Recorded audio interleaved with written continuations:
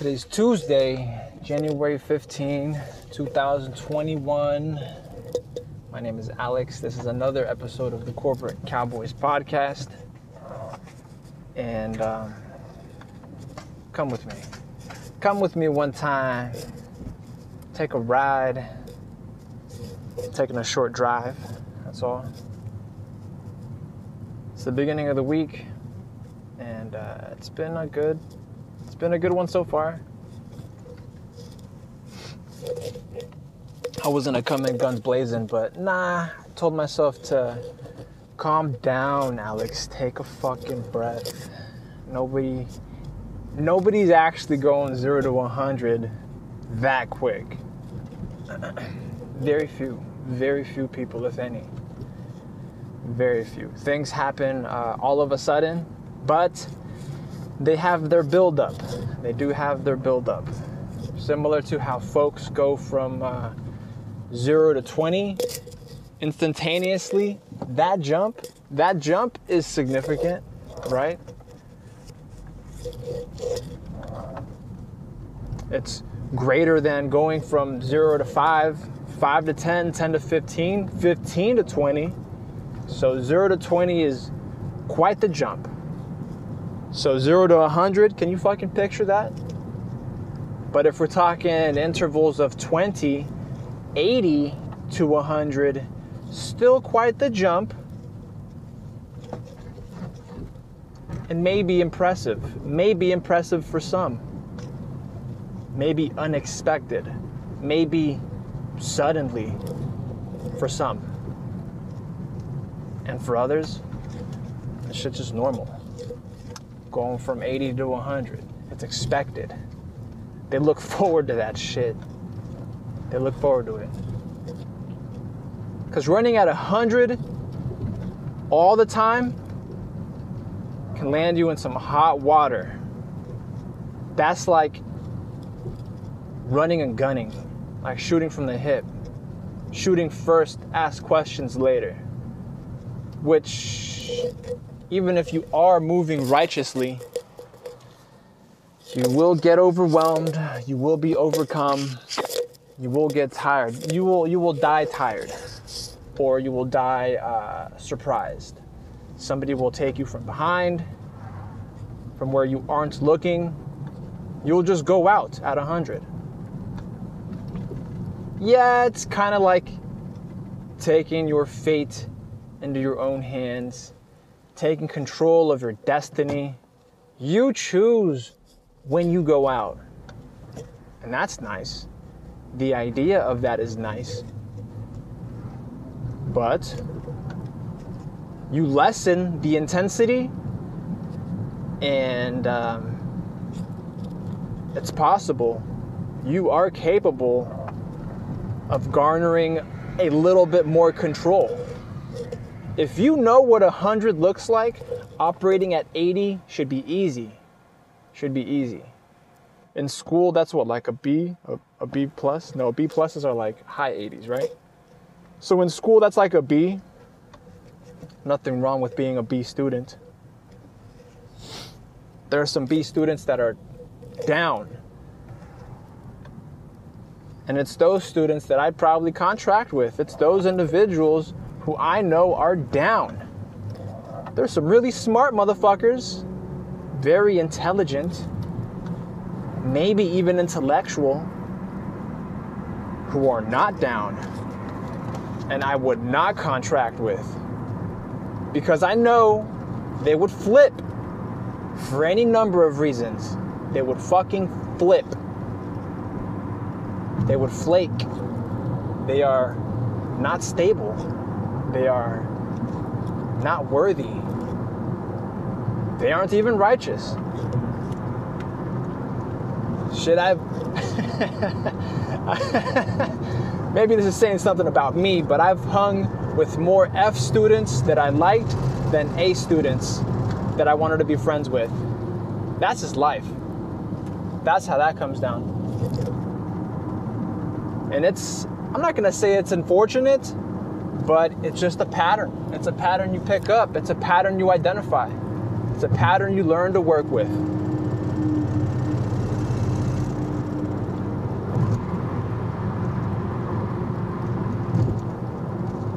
And over time, I've come to identify students who are down. Students not who are who are down. I guess for lack of a better concept, you could just say down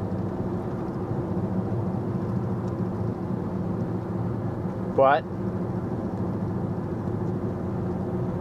more so students who are um, who are grounded. Students who who base their perception on reality on natural law if you will.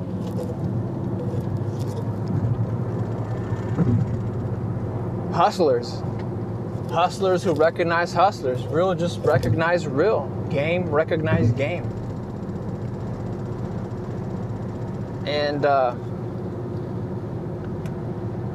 for whatever reason fewer have been a plus students.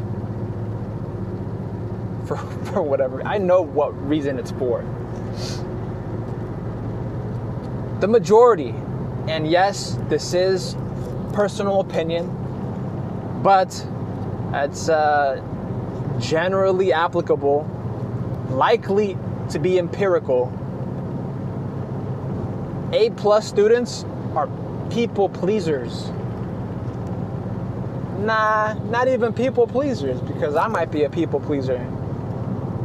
A plus students are authority pleasers. That's why they get the A pluses. That's why they do all the work, all the extra credit. That's why they they why they stay after class. That's why they do special favors. That's why they try to get in the professors' good graces. That's why they try to brown nose. That's why their politics change with every professor they have.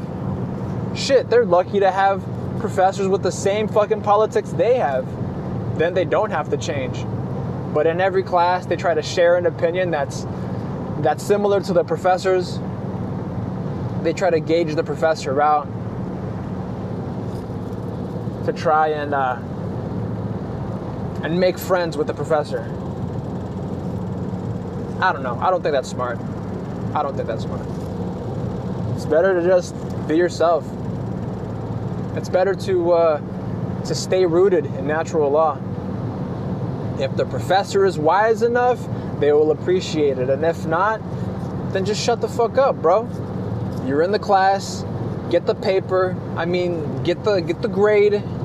Get the paper get the grade, and get the fuck out.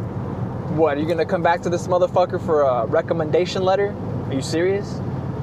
You're gonna you're gonna come back to this motherfucker for a professional reference? Is that what you're doing? Come on, bro. Come on. Come on, man. come on, man. Oh shit. Nah, not me. Not me. if I see something in class I'm not liking the way it's going, the vibe is off, then I just shut the fuck up. What do I have to contribute?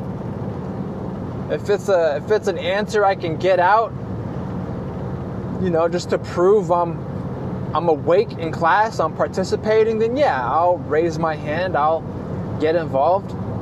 But I'm but if it becomes I don't know. If it, if it becomes political, if it becomes ideological, no, no. I'm, I'm a little I'm a little more radical than most. I'm a little more radical than most. A little bit more. There you go. I'm a little bit more radical than most. And that's just the way life goes. That's just the way life goes. But I'm not special. I'm just an individual. I'm unique, right? But like everybody else, we're all unique. We are all we are all special, we are all different, we are all unique, right? And if everybody's unique, fucking nobody's unique. Nobody's special.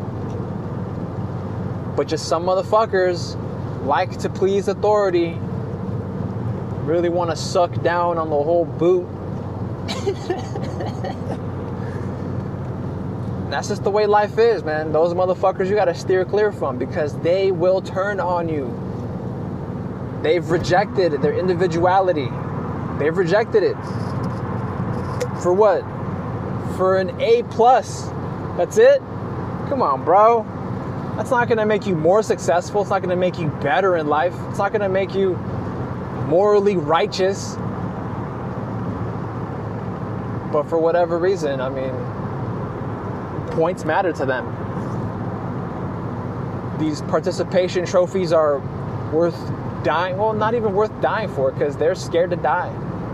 But they're not scared to kill for whatever reason. They'll take an order and say, Oh, I was just doing my job. Yeah, they'll kill, but they're fucking scared to die. You have to live and die in reality. You gotta fucking kill for it, and you will end up dying for it. We all will. But I'm not gonna I'm not gonna turn on myself to turn on everybody else. I'm not scared to die. I'm not afraid to kill either. That's why I don't bitch out. I don't bitch out. I don't I won't I don't sell out. Nah, hold on, hold on. What's a good word for that? What is a good word for that? I don't waver.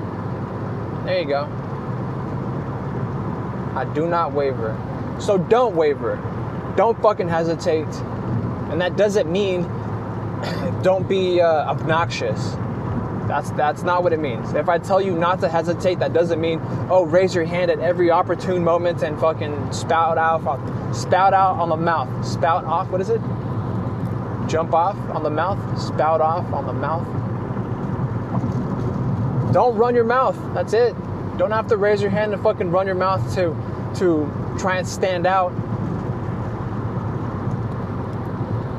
It's like everyone is aware of their individuality. Except when somebody with some perceived authority orders something of them, requires, mandates something from them. And when they do that, they lose control of their life. They lose control of their life. Somebody else is commandeering, somebody else, something else is commandeering their life.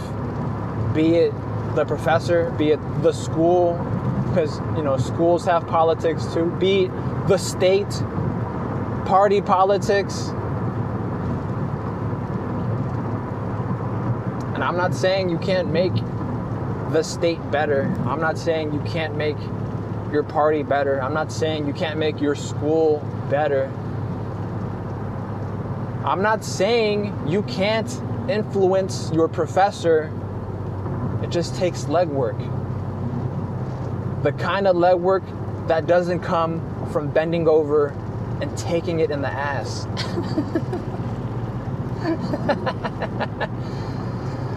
oh shit. I got the club going up on a Tuesday. On a fucking Tuesday. it is what it is, man. It's just how life is. It, it be like that. It really do be like that.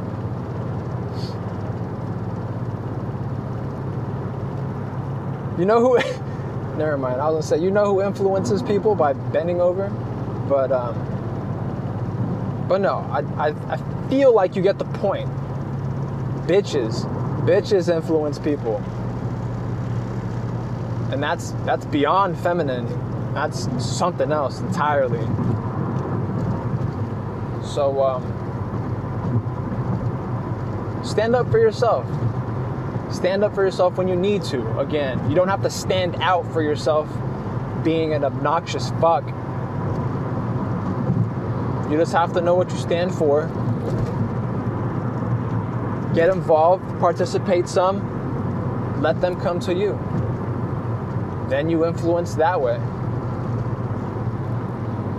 And yeah, that, that doesn't mean that the professor's going to come to you for advice, that the professor's going to come to you for re education. Don't try and re educate these motherfuckers. They already have PhDs. They think they know it all. They, they will PhD your ass out the door. Don't, don't try and acquire knowledge from them. Acquire knowledge elsewhere. Acquire knowledge outside of the classroom. Because bringing in outside knowledge is a surefire way to get them to jump on the PhD gas pedal and show you just how PhD they can be. Show you what they know.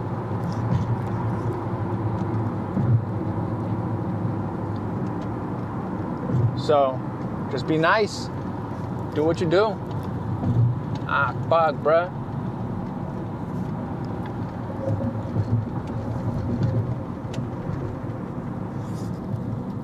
I had to get in. I had to cut somebody off. Thankfully, they were gracious. They didn't honk.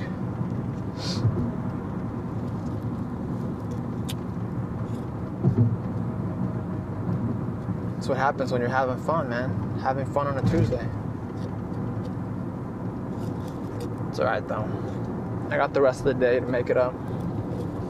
Oh, what, you don't believe in karma? you don't believe in God? I got the rest of the day to make it up. You can follow us on Instagram, Corporate Cowboys. You can also make your own luck. That's called Dirty Luck. what? Yeah. Just like there's karma, there's dirty luck. That's where you take control of it. It's where you take active control of it. You aren't just a passenger. You aren't just along for the ride with your opinions and beliefs wavering with every class period and every professor that comes along. That's right. You employ that dirty luck. You make the causes. You are the causes. You create the effects. That is dirty luck. Subscribe if you would like something monthly on Patreon. It's the Corporate Cowboys Podcast pretty much find the podcast anywhere podcasts are distributed. You want to donate? By all means, do that. You can find the links somewhere. It's on a link tree. PayPal, Venmo, Cash App, directly to yours truly, Alex. And um, and that'll help keep this operation nonprofit at least until you know I'm dead or something, and then somebody wants to capitalize on it, take on investors or something. That's up to them. But at least until I'm dead, this will be my project. So it's been ordained.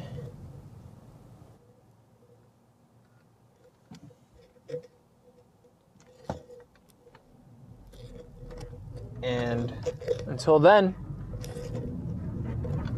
well, shit, we'll be we'll be in touch. you can write also P.O. Box 3372, Rancho Cordova, California 95742. Enjoy your day. Enjoy your afternoon. Have a good night.